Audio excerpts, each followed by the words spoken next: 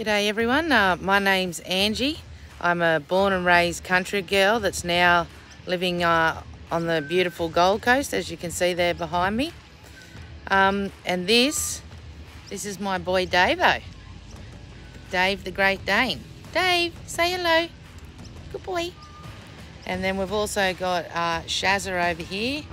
Shazza the trusty 60 series Land Cruiser. These two are my pride and joy my world.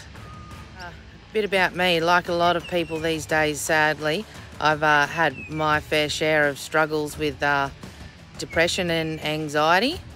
Uh, definitely didn't want to stay that way, so just sort of baby steps, you know. I had a big trip in my head that I wanted to do, like a lap around Australia, but obviously that's not something you can do overnight. So while I was waiting for that, I uh, managed to move myself down to the Gold Coast from Brisbane because didn't like Brizzy very much. Um, got myself a jet ski.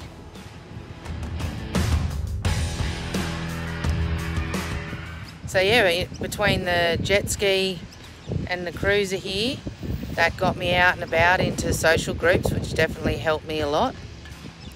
Um, getting Big Davo. I can't even describe how much that helped me he's, he's my saviour to be honest. But yeah, so anyways, even despite doing all that, I still had uh, this big trip planned in my head and for years I just figured that there's no way I can do something like that by myself. Um, then all of a sudden I just realised like bugger it, why can't I do it by myself? So yeah, I um, started getting planning straight away as soon as I realised I could do it alone and there was definitely lots to be done. Uh, packed up all my belongings, pretty much everything I own except for my camping gear, shipped that off to a storage shed. That was uh, definitely nerve-wracking but exciting.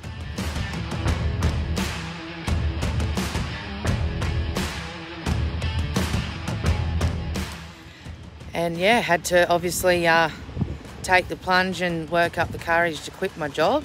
I was a postie, so had a government job threw it in in the middle of COVID, but you know what? If you don't take chances, what sort of a life are you living? That's what I reckon. With Shazza being such an old vehicle, there was lots to be done. So she had quite a few bad rust spots. So we started with that.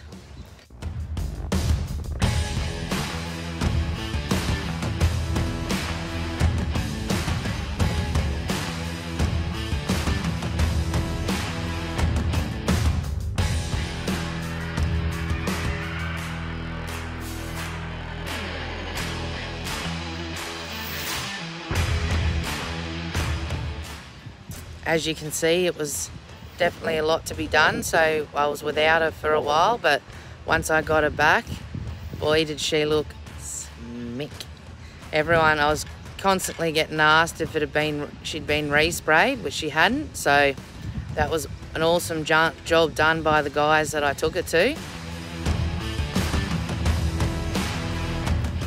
Uh, next up was getting new tyres and rims uh, rims that I had and the tyres made poor old Shaz look like a roller skate, so we couldn't have that. Um, but anyways, yeah, went for a more common size rim so that if I had any dramas on the road, I'd have more options available to me. Um, yeah, and made it look awesome. Went from going like looking like a roller skate to a chunky monkey.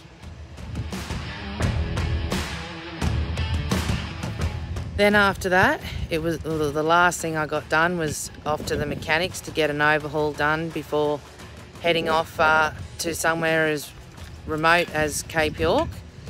Uh, and that turned out to be a lot worse than I ever had thought it would. I'm a bit of a fan of um, camping on the beach and stuff in, in Shaz, so yeah, I'd done a lot of damage with that. Um, as you can see, what you're about to see, uh, yeah, lots of rust, rusty parts, rusty brakes, rusty shocks, yeah, and yeah, the list goes on of things that needed to be done. So yeah, I was without Shaz again for another few weeks, but had to get it all hunky-dory before we took off. So it was a job well done by the guys at uh, Hendra Motors.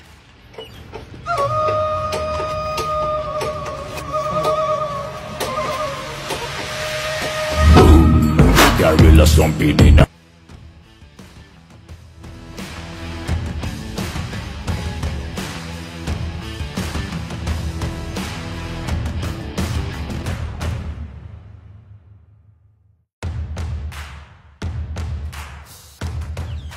Got all that sorted, picked Shazza up again and was uh, in the final couple of days before departure. And uh, after having the radiator flushed after it hadn't been done for so long, it sadly let go of me.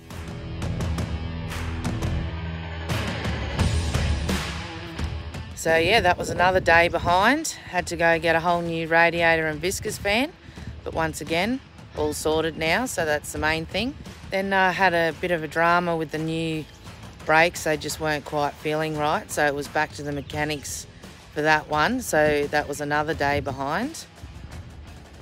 Then uh, after the majority of what was wrong with the car being a result of rust, because I do like to go on the beach a bit, um, I decided to be sensible and put in a big day with my mate, um, getting Shaz all prepped to be able to go on the beach and be protected. So, yeah, things like Tectyl 506 that went all under the underside of her.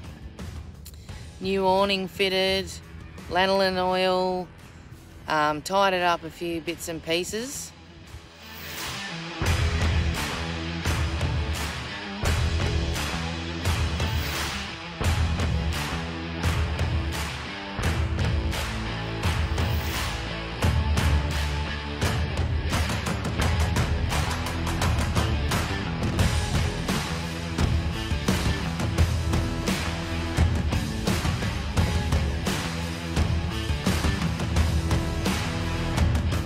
Then finally, everything was all sorted and it was time to hit the road. Yo!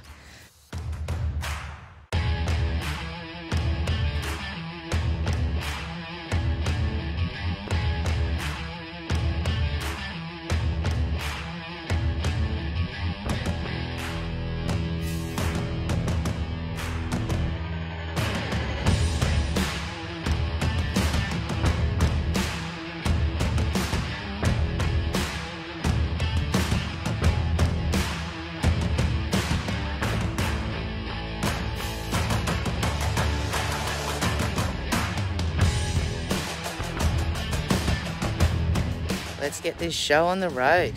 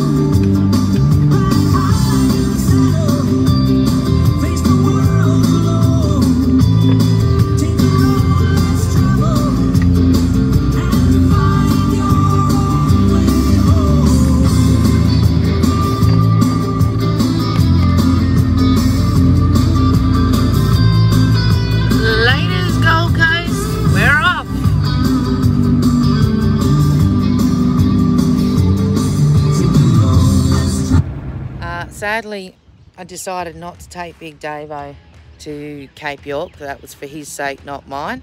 So many 1080 baits and crocs and everything up there, and he hates proper four-wheel driving.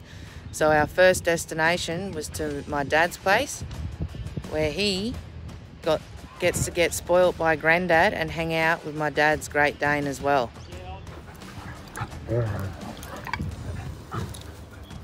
So yeah, just the beginning of the adventure, guys. Heaps more to come, heaps more vids and adventures to be watched. So make sure you stay tuned for the rest of it.